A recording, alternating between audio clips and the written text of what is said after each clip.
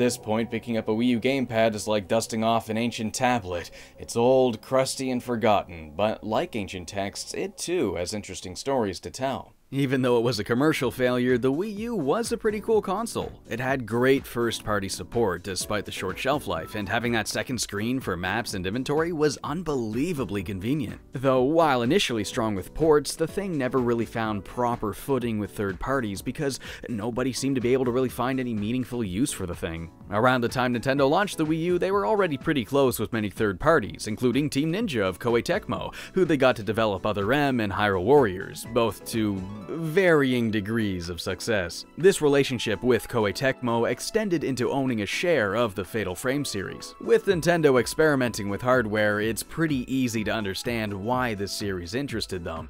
The idea of taking pictures is sort of a natural fit for motion-focused hardware. Finally, we had a series that could actually figure out a way to make good use of the gamepad. They played around with the idea of aiming a camera with gyro control and spirit camera on 3DS, but they wouldn't really do a full game around this idea until the next proper installment. Shortly after Fatal Frame 5's announcement, people began to wonder if we'd even get the game in the West. The series never really did big numbers over here, and the previous main entry never did get localized. In the end, the fifth game would make its way stateside this time, albeit only as a digital download. We never got a physical version like Japan did. Europe got this awesome collector's edition, but over here, we had to deal with this giant downloadable file that didn't even fit on some Wii U's. What a goddamn mess this was. The cheaper Wii U's only had 8GB of space on it. You know how big the game was? Yup. Even with a 32 gig model, it was still a pain in the ass to get this thing installed. I had to delete a ton of stuff. I imagine an external hard drive would have been very handy right about now, but the thing is, why would I dedicate an entire external to my Wii U in 2019, right? Sorry, but I've got more important things for this guy. It was a messy launch, especially here in North America. Not only was it cumbersome as hell to even download and play, but it wasn't received all that well either. It seemed like Fatal Frame was no longer the series we used to know and love. This was the first Fatal Frame game I actually remember seeing a lot of back when it first came out, because, like any of their other products, Nintendo was pushing it hardcore. I've always been interested in trying it at least once just to, you know, see what it's like, but there's always been so many hurdles, including a full retail price that still hasn't gone down. But I guess now I finally have a real excuse to play it, the final Fatal Frame game, at least as of this video. Did it end with a whimper, a bang, or something in between? Let's see. Oh man, booting up the Wii U nowadays is such a depressing sight. What used to be a plaza bustling full of other users sharing their experiences is now a cold purgatory of placeholder me's repeating the same tutorialized phrases again and again. Been playing Fatal Frame? Sorry buddy, but I don't think they care. I can't even look at this, this is just too depressing. Let's start the game. Fatal Frame, Maiden of Black Water. Kinda weird they dropped a number for this one. It is the official fifth major entry in the series, and most people do just call it Fatal Frame 5, but yeah, I keep forgetting this one isn't actually a numbered entry for some reason. My guess would be that since it is the first one in a long time, especially for the West, and on a different console than before, they wanted to make the game seem more accessible to people, maybe not as familiar with the series, so for any Wii U owners that are new to the series, it'd be a little easier for them to buy it without really feeling like they're missing four games prior. It's just marketing, and yeah, that would make sense. You wouldn't really be missing much if you played this one first anyway. Like most games in the series, while loosely connected, the plot is self-contained, and while it does pick up on certain events from the first game, it's still possible to follow along without playing it. This game's story begins with a young girl named Miyu searching for her mother. She went missing on Mount Hikami, a mountain infamous for being a popular suicide spot, as well as being full of evil spirits, because, and you freaking guessed it, of a failed ritual. Soon into her search, Miyu stumbles upon this sealed box, and we see an evil spirit emerge from it. And that's the last we hear from her, at least for now. We then cut to this young girl named Yuri. Uh, fun fact, if you played Smash Ultimate, you might recognize her as one of the assist trophies. Yuri is the main protagonist of Fatal Frame 5. You do bounce between three different characters like you did in Fatal Frame 3, but for the most part, Yuri is the primary protagonist. She works at an antique shop with this woman who took her in after saving her from a suicide attempt. Yuri has a long troubled past dealing with her ability to see the supernatural. She has what's called a shadow reading, which allows her to see someone's final moments before death when she makes contact with a ghost. The game opens with the two heading to Mount Hikami to do some research for Ren Hojo, who's this author that the two are close friends with. The majority of the game takes place on this mountain, more specifically in the woods, with a number of different abandoned buildings you'll explore as you progress through the game. It's closer to how Fatal Frame 2 handled its world structure, but with a large forest instead of an abandoned village, and I did really like this. Having a number of self-contained buildings instead of one giant one helps alleviate confusing backtracking, which was my biggest problem with the third game. And the atmosphere is fairly decent. The lighting effects are pretty great, and the attention to detail in the environment are quite good. There is a solid variety of interesting locations too, like an abandoned cable car station, this beach area with this big intimidating landscape, and my favorite, this Japanese tunnel near a phone booth, an absolute classic set piece in Japanese infrastructure. The controls did take some getting used to though, and no, I don't mean the motion controls, I mean just like walking. It has this weird weight to it that it didn't before, as if they wanted to emulate the weight of a human body on real legs, but man, it just kind of feels like you're pushing a boulder the whole time. It's weird to explain without playing it yourself, but it feels way heavier than it needs to be. Also, it seems like they couldn't make up their mind as to what'll dictate the direction the character's facing. Like, uh, some games have the character always facing the same direction the camera is, and other games the camera and character are completely independent from one another. But Fatal Frame 5 has this weird middle ground where it is independent from the camera, until you start moving it. And now they're trying to look where the camera's looking, but since it has that heavier movement, your character clunkily stumbles to face the direction you're looking, despite the direction you're trying to make them walk. And they start doing these weird sidestep shuffles, but they rotate like into that, and it's like, what are what are you doing? Please, just just walk where I want you to walk, and let me look where I'm trying to look, please. It's not a major problem, but it really tripped me up every now and then. As you make your way through each chapter, you'll of course encounter plenty of ghosts you'll have to exorcise with the camera obscura, and this is where the Wii U gamepad comes into play. When entering first person, you'll bring up the gamepad and look through the controller screen as if you're looking through a camera,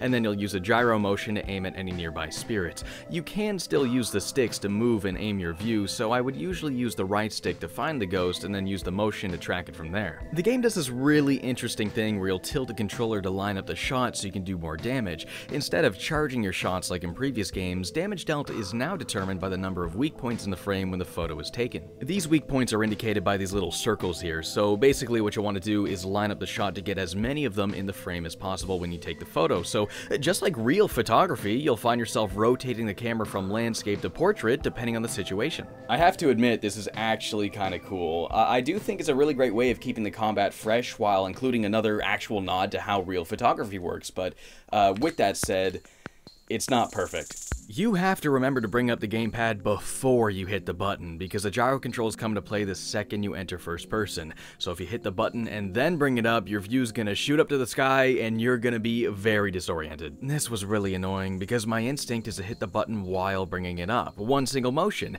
and it was really difficult to disconnect that sort of muscle memory. And I also feel like the right stick just isn't sensitive enough. Moving it left and right has this sluggish startup before you start rotating at a good speed, even at the highest sensitivity options, so scanning the environment with the sticks doesn't really feel as good as it used to in older games. This is especially annoying when a ghost appears behind you, because part of you is just going to want to turn around with the controller, because that will be more accurate and responsive than this frickin' molasses stick, but doing a 180 with the controller is really disorienting. And I'm gonna be honest, I sometimes don't really feel like bringing the gamepad up to my face to play the game, so I'll try to get away with just looking down at it and tilting it in my lap, but this often doesn't give you the results you want. Tilting the gamepad when it's facing downwards doesn't usually give you the correct motion, so you really can't lazy out on it. You have to play this as intended. You will at the very least have to look at the controller's screen, because there's a lot of info on the gamepad that isn't on the TV. The ghost's health, their weak points, how much film you have, which film type is equipped, your power-ups,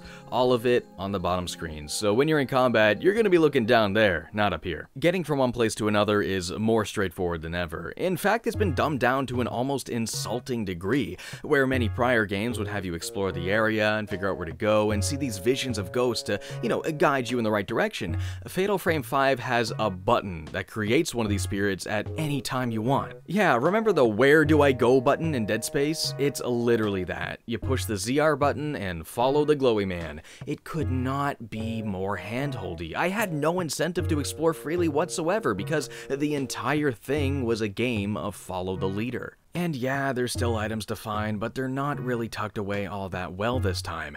You'll see almost all of them on the main path. There's no way you're gonna miss them. I guess there's some more if you stray from the beaten path and look around, but the extra items you really don't need because this game gives you so freaking many as it is. God, and I thought Fatal Frame 2 was bad for this. Fatal Frame 5 gives you more healing items than you could ever hope to use. Even when I was getting lazy and just tanking hits without making any effort to dodge, I was able to gobble these up non-stop and still have plenty at all times. This is the easiest game in the series by a significant margin.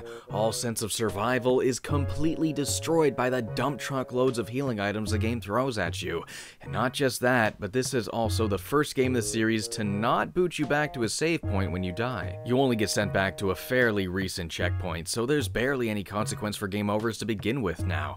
If you're looking for a challenging survival horror game, look somewhere else because this ain't it. And the game's still at it with those stupid hand thing jump scares, just in case it didn't get old the first time. And I don't mean the first game that did it, I mean the first time it happened in the first game that did it. It got old, it is still old, and they're making it even older. Please stop! This, sadly enough, is the game's only real attempt at being scary. Like 4, I didn't really find this one very scary at all. Ghost encounters remain just as unsubtle and evident as they were in 4, and the ghosts themselves aren't very intimidating or scary. They all just kinda look like people. This guy looks like a drunk salaryman. Well, I guess there are some exceptions. It's a rare encounter, you might not even see this ghost on a single playthrough, but if you run into this thing, dear lord is it unsettling. The proportions of this ghost are so freaky. I wish the game had more stuff like this, more wilder ghost designs. It really freaked me out when I ran into her. Apparently this ghost is actually a reference to a fairly old but very popular Japanese creepypasta. It's really cool to see AAA developers pay tribute to online horror communities like that. Though I do wonder what my perspective on this would be if I were Japanese instead of Canadian. You know, as somebody that's never heard of this, it's really cool to me, but then again, I see Slenderman and stuff and I roll my eyes at it, you know? So like, that's kind of interesting. I wonder how I would feel towards it if it weren't for my like North American perspective, you know? This game does do a fairly good job of getting you to recognize the spirits. Uh, between the Shrine Maidens, the suicide victims, and many others, there was plenty of times where I made those satisfying connections to these ghosts and the reading material, so that's one thing the series is still quite good at. And if this game's good at anything the series has never been good at, it's that you can finally actually run now. Thank God, too, because some of those treks through the forest can be pretty lengthy. It'd take forever if you could only do a light jog like every other game. That is one thing about this game's structure that I wasn't too big on. Uh, like usual, it is chapter-based, but this time you start back at the antique shop at the beginning of most chapters, instead of landing you precisely where you'll need to be. The reason you keep going back to this mountain is a little bit infuriating. You're essentially looking for people that have gone missing there, but after you bring them back, a ghost will just possess them again and make them go back to the mountain, and then you have to save them again. It's a pretty obvious plot device that only exists so you have a hub to keep going back to. With a game that keeps coming back to a common area, you need to keep making excuses why they're going back and forth, and the ones they come up with in this game are pretty freaking weak. Like, come on, you saved them, but they went back, and now you have to save them again. It is frustratingly lazy writing. The game also makes you re-explore the same buildings multiple times as different characters, and the routes you take aren't really different enough to really warrant it. Like this chapter, you explore this house as Yuri for a legitimate story reason, but later you re-explore it as Hojo with them just making up some random dumb excuse this time. Your assistant went missing and now you gotta go find her. It's this super brief, pointless subplot that feels so shoehorned in just to fill time. There's a lot of padding in this game. It happens a number of times, redoing a level as another character, making up some half-baked excuse that doesn't really serve the story in a meaningful way. It stretches out the game much longer than it needs to be. It's about a 15 hour game, but I would much rather a more meaningful 8 hours than a blatantly stretched out 15 hours. There is this one really unique part of the game where, as the people you've rescued stay the night in the antique shop, Hojo has to monitor security cameras to make sure nobody gets possessed and tries to go back to the mountain. You'll watch the camera feeds on the TV with the location map being on the gamepad, and if you see any unusual activity, you'll run to the corresponding part of the house and exorcise any spirit you'll find. I can't help but to wonder though, why does he have security cameras in their bedrooms? He could be watching them getting changed. Oh wait, you know what? That's probably why they're sleeping in their clothes, because they know this dude's watching. But jokes aside, as freaking cool as this part is, they make you do it again later. And it's like, yeah, it is a cool idea, but we really didn't need to do this twice. The game tends to dwell on the few good ideas it has, just for the sake of artificially increasing playtime. Well, I guess all there's left to talk about is the game's story, so yeah, here's that spoiler warning. Skip here if you'd like to avoid hearing about the story details. I'll try to cover it as best as I can, but like, be warned, I found it a little more confusing than other plots in the series, so apologies if I get shit wrong. Okay, so there seems to be like three kinda ongoing plots at the same time that sort of intertwine, but like don't really go together all the time, at least not in the way that they did in 3 and 4. Miyu's story is all about finding her mother, who turns out to be Miku, the protagonist of Fatal Frame 1. It turns out after losing her brother Mafuyu, she had this obsessive feeling that she was doomed to be alone, so she marries the ghost of Mafuyu and has a kid with him somehow? I have only one question. Who do I have to slap? Who wrote this? Why did they write this? Miyu's an incest child because her mother was impregnated by the ghost of her own brother. Why did they do that? Why did goddamn they think I'm getting to go up? Miku explains all of this during Miyu's ending, heavily implying that Mafuyu is her father, which means he's also her uncle and Miku's also her aunt. Like Miku's her like mom, aunt, and I hate this. Somebody please expunge this from my memory. I never want to think about this again. And listen, I understand that horror games are a great space to explore taboo topics. When you sign up for something you know is going to be horrifying, it strangely becomes a more comfortable environment to discuss things like uh, murder and rape and abuse and other things. It's quite ironic that such an awful and dangerous world can be a sort of safe zone for discussing these things, but like, there's a difference between respectfully covering sensitive material and then having some batshit weird ass malarkey like this. What the hell were they thinking? Well, let's move on to Hojo. Uh, he's been having this recurring dream where, as a child, he's part of a ritual in which he sacrifices a young girl with white hair. These dreams become so vivid that he starts to wonder if this was a real memory that he forced himself to forget. It later turns out that these dreams are actually the memories of his descendant, Kunihiko Aso, the creator of the camera obscura. She was a childhood friend of his, and after the two grew quite close, he was heartbroken that he had to kill her in the ritual. Little fun fact, uh, Misaki from 4 is also a descendant of his, hence having the same last name. Aso was invited to, it sounds like I'm saying asshole, I'm so sorry if I'm saying that wrong. Aso was invited to Mount Hikami to photograph the shrine maiden there, uh, Ose Kurosawa, and during the photography session, the two fell into an unspoken love, parting ways without telling each other how they truly felt. She was then to take part in the pillar ritual, in which they closed maidens into a large black box, being alone forever.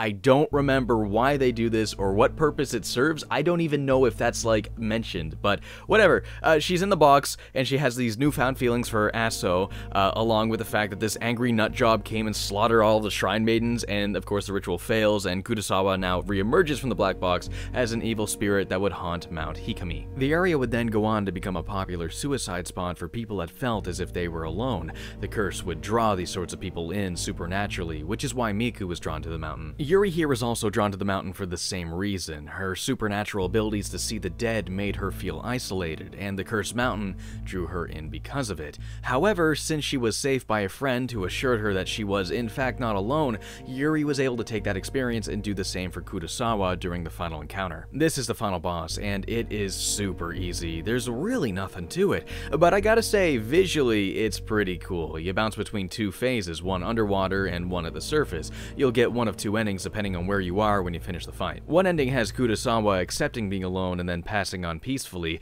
while the other has her convincing Yuri to die as well since they share similar experiences. It's a pretty cut and clear good ending versus bad ending. Now, those aren't the only two endings, just the two that Yuri gets. During the final chapter, you'll see all three of the playable characters meet a different fate as the chapter progresses, ending finally with Yuri. Miyu has two outcomes, depending on whether or not you took Miku's photograph as you followed her up the mountain. Essentially, one where Miku lives and one where she doesn't. Again, it's pretty clear bad versus good ending. Now, Hojo, on the other hand, has a number of endings. You have to conduct another ghost marriage ritual, so you choose between the girl Aso sacrificed or Kurosawa. The outcomes with the little girl flashback to when they were children, kinda just showing more of what happened back then and how Aso left the situation. But if you choose Kurosawa, you can choose to either embrace her or take her picture. If you do the former, you get this ending where Aso and Kurosawa make amends and confess their love to each other, and then part ways peacefully, and the latter is a similar ending but with a lot less detail. So here's why it gets a bit clunky. It's because while Hojo's story explores Aso's past and the ghost marriage ritual, and Yuri's story explores the other rituals and the fate of the Shrine Maidens, Miyu's story is totally unrelated. It's just about her finding Miku. If she wasn't here,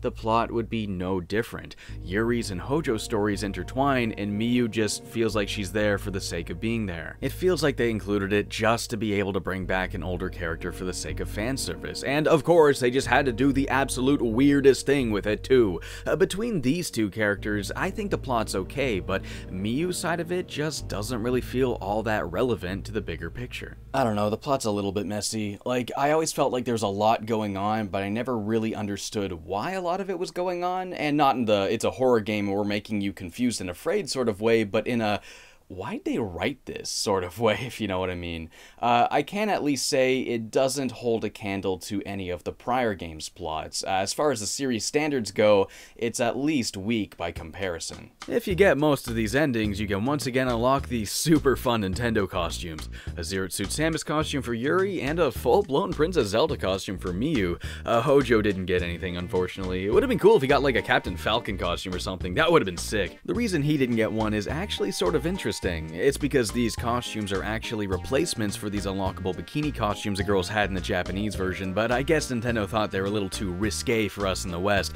I mean, the game's already rated M, I don't think it would have really much mattered, but honestly, I do think these Nintendo costumes are way more fun, so despite the censorship, there was a pretty great silver lining here, and I do really appreciate that. I mean, they could have just removed it and had nothing in its place, right? But instead, they went out of their way to still have something worth unlocking. And you guys know I'm all about those funny costumes. Makes me wonder what kind of Nintendo costumes we could see in the next Fatal Frame. I think a Captain Olimar outfit would be pretty hilarious. I can imagine that big bull helmet on the character, but let's go full blown stupid. I say Tom Nook mascot costume. Imagine fumbling around a haunted mansion in this. Come on, Nintendo, make it happen. Gigantic shout out to NibrocRock for doing these concept models for me. Throw the guy a follow, he does great 3D stuff. Alright, what else do we got? Okay, there's one last thing. There's this bonus mission you can unlock where you play as Ayane from Ninja Gaiden. Or uh, is she from Dead or Alive? I don't know which one came first, I don't know. I've never played any of those games, but either way, it's just a little bonus. You'll fly through it pretty quickly, but it is a really cool addition if you're a fan of either of those series. And that is Fatal Frame 5. Uh, yeah, I definitely see why a lot of people didn't seem to care for it when it was new. It is it is just very watered down over past titles, uh, no pun intended. Uh, the progression is very oversimplified. It is ridiculously linear. It's completely lacking in proper challenge and survival, and it is padded out with a lot of obvious filler. And of course, the mandatory motion controls would probably turn a lot of people off. Uh, that last one is quite subjective, but I do recognize that it is a very dividing feature of the game.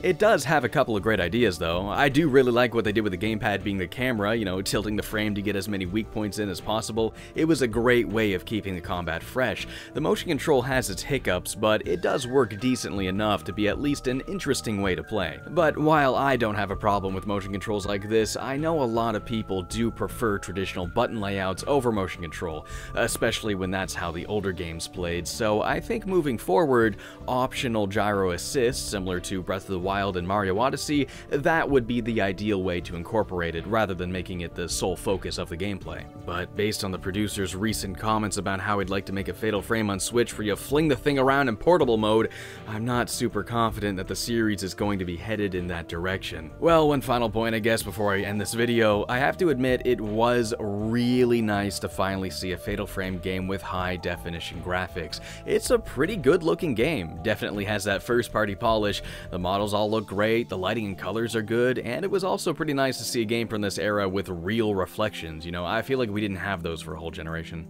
I guess I'd say it's the most average Fatal Frame game. Like, it does have some really interesting ideas and some strengths, but all of its weaknesses just make it painfully mediocre. I definitely feel more indifferent to this one than any other title in the series. It's not really worth hating, but not really worth playing either. Unless you're very curious, you're not really missing much by skipping this one. So that concludes the Fatal Frame Marathon. Uh, if that Switch Fatal Frame game ever does come to fruition, I'll definitely be checking that out here on the channel, but until then, I'm going to be hanging up the camera for now. Next time I deal with ghosts, it's going to be via vacuum. So thank you guys so much for watching. I hope you enjoyed this review series, and I guess I'll see you guys again sometime soon. See ya.